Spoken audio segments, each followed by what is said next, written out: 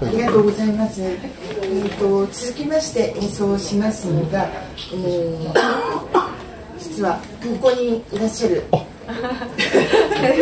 神谷さん。あの私たち雑貨屋のために曲を2曲書いてくださっています。ちょっとあの喋ってくれてちょっと言われて解説をお願いします。多分最初はあのザキリーちゃんとマミコさんがお友達だったと思うんですね。でその時にあの僕の曲をまあたまたま弾いてくれてそれで。あの嬉しかったのは、ザキリーちゃんは山梨の人なんですけれども、山梨に帰っていろいろ弾いてくれたんですよ。で、彼女これ弾いてくれいいですか山梨で、あの、リオあるんでとか言って。ですごく嬉しくて、じゃあ、どうぞ、どんどん弾いてくださいということで。それでもうすごく積極的なんですね。あのここはどうしたんですか？ここのコーダはここじゃないですかとかね。それをあのあの楽譜と指とで写真を撮って送ってくるわけです。でそれはすごく嬉しくて。でそうやっていくうちにその2人がねあのあやちゃんとデュオ組みましたっていう話を聞いてあやちゃん僕よく知ってるのでじゃああのあの曲書こうかって言って。でえっとであの僕はプロではないので全然それはあのお金は取りません。ただあの2つだけお願いします。1つは人前で弾いてください。っていうこと。それからもう1つはもう誰でもアップできるのでアップしてください。その2つやってくれたら僕は喜んで書きますよ。っていうのは僕曲書いてるのたまにあのあの楽譜くださいとか言われるんですけどあげたらそのままあれどうなったのかな？みたいな。のあるのでそれはちょっと悲しいのでそういうふうにお願いしたらあのすごく「はいはいはい」ってもうそう言ったら 5, 5, 秒ぐらいで返事が返ってきて「はいはいはい」とか言って「分かりました。じゃあお願いします」っていうこということで書いたのがこの、えっとえっと、空色のコースター雑貨屋さんを想像したらこの2人が雑貨屋さんをしてたとしたら何が並んでたら僕は嬉しいかなと思って多分なんかコースターが浮かんだんですね。で色は空色とかそういう淡い系の色がいいなと思ってこれは空色のコースターと名を付けました名前にしました。それから2曲目はあるんですけれどもそれはあの、えっと、この夏に、えっと、たまたま3人でかき氷食べる機会があったんです何の会だっけ？えっと夜の会なんかそう。で食べた。でいちごのかき氷食べたんですが美味しかったですね。でそれはそれで良かったんだけれども僕後後から思ったのはかき氷って今のかき氷ってすごくいちごのなんとか100%いちごとかねふわふわゴールドなんとかとかねもうほってるじゃないですか。でも僕が美味しかったなと思ったら考えてみると小学校の時にねプールが開けた。夏休みにプールあったじゃないですか。それであの行ってあのかあの先生がまあこう見ててね。でそれ遊んで帰るみたいな。その時帰りにね駄菓子屋があったんですよ。で駄菓子屋で夏だけ開くおばあちゃんがやってる駄菓子屋。で70円だったかな。氷があって。でそれは種類としてはいちご。それから、えっと、みぞれ。水って言ってましたけど色のないですね。あとブルーハワイ。これぐらいだった。70円でこうあの、まあ、握りしめていくわけですよ。でプール入ってわーって。でそういうのがなんか楽しくてそれをちょっと思い出したんですね。だからこの曲にはそれは、えっと、2曲目いちご色のかき氷って言ってます。これはいちごのかき氷じゃなくていちご色なんですね。はいそういうことなんです。でそれはそういう小学校の時に100円握りしめてプール行ってめっちゃ楽しくて遊んで帰りに友達と一緒にばあちゃんの駄菓子屋で食べたみたいなそういうちょっとそういうちょっとワクワクしたようなことを思いながら書きました。ということではいお願いいたします。えっと空色のコースターといちご色のかき氷ですねはいよろしくお願いします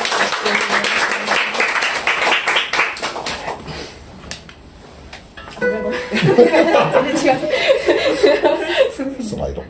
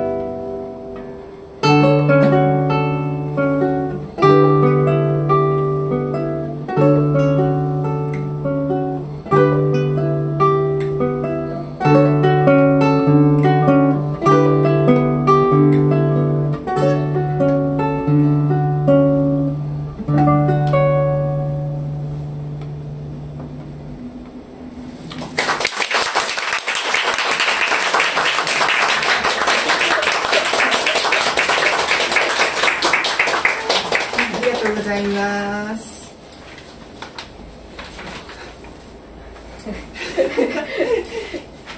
と続きましてえっ、ー、と、えー「ソル月光への3つのメロディー」というあのソルの月光はあのギター弾かれる方皆さんご存知だと思うんですがエチュードすごく有名なエチュードです。でそれに、えー、広和先生が三つのメロディーをそのエチュードの上にくっつけた3つのメロディーをつけているんですがそのうちの最初の1曲「プレリュード」っていうのを、まあ、二重奏として弾きます。でえー、とその月光に続いて「えー、オーバー・ザ・レインボー」江部健一先生の編曲で、えー演奏します。2曲続けて弾きます、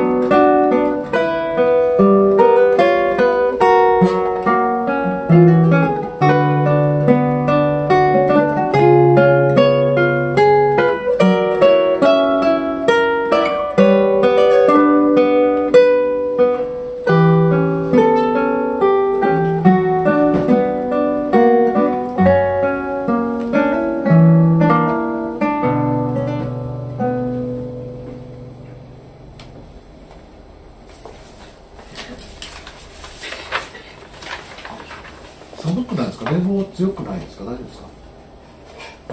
大丈夫？強い？少し上げてもらえます？どうですか？上げてもらった方がいい？ちょっと寒いかも。あちょっと。はい